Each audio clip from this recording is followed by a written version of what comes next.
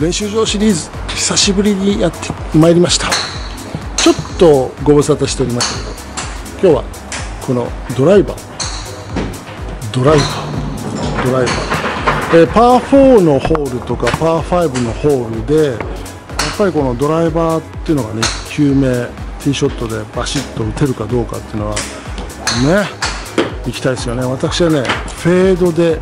いきます。フェード。フェードボールというのは左から右に少しこう曲がっていくというね、まあ、コントロールされてるわけですよね、まあ、フェード打つって言って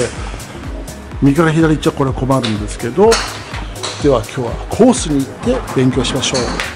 せーの。ちょっとまずやっぱりドライバーは向きですね。私はもう全部フェードなんでえー、っとちょうど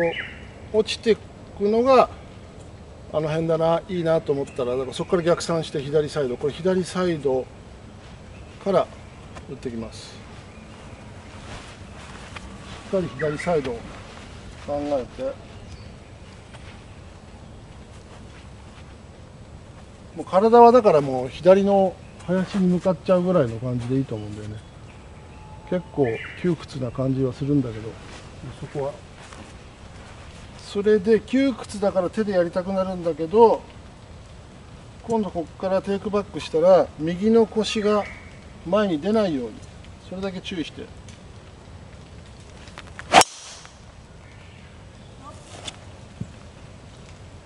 なんか手先で操作しようとするとやっぱりこう体がずれて変な方向にね行く場合があるからあの構えてテイクバックしたら右の腰が前に出ないなんか一つのテーマをつけてやるといいんじゃないでしょうか。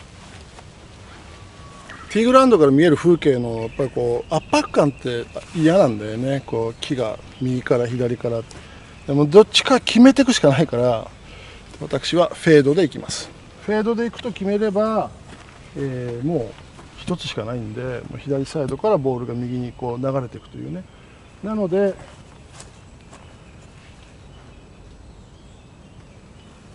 の体の線を本当にも左の森の方に、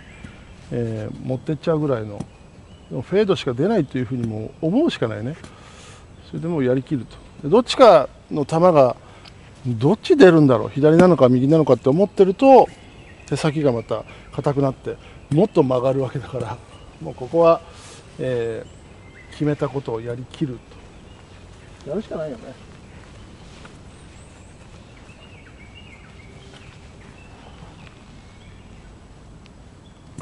そしてこの線があるんだけどこの線の右の腰がこのラインよりも出ないように出ちゃうとねもうこれ左行っちゃいますからねボールは。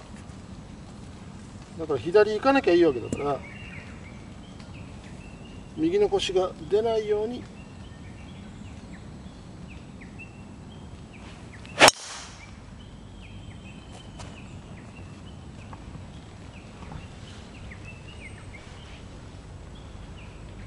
それだけ考えてこう振り切る。もちろん左は良くないんだけどね、まあ、多少右行ってもあの振り切った分だけそんなに急激には曲がらないと思いますから、はい、さてフェードボール。例えばこういう練習場で、えー、コースに出た時のことをイメージして、えー、練習をしましょう。ただね真ん中に向けてバンバンバンバン打つのも、まあ、それもいいけれども実際例えばこの左端の打席を取ってですねこういうところを予約して左のネットのなんていうかね一番この対角線っていうのかな。端っこね。そこに自分の肩の線を合わせてということはフェースの向きをちょっとだけ右になるわけね。で、えー、左ギリギリからネットのずっと向こうの奥の右にボールがスッと落ちていくようなね。そんなイメージ。でフェードボールっていうのはなぜかといえばね僕が好きなのはこう手先で打てないんだな。で体全体体の回転全てを使って思い切り、えー、スイングした結果がフェードになるというのが理想的だと思うんですですから、えー、いろいろこうチェックポイントがあれど今日は1つだけね、まあ、コースでもやっていましたけれどもテイクバックしました。そしてインパクトの時に右の骨盤が前に出ないようにそれを気をつけて振り切る。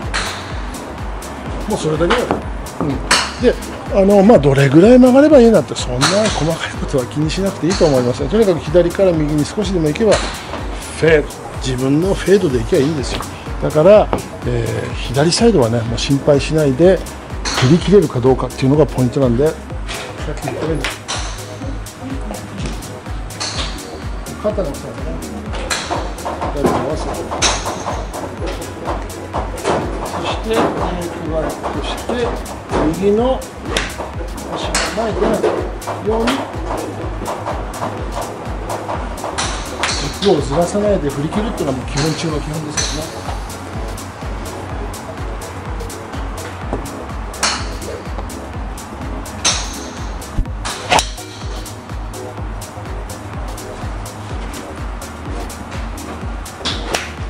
ナイスフェード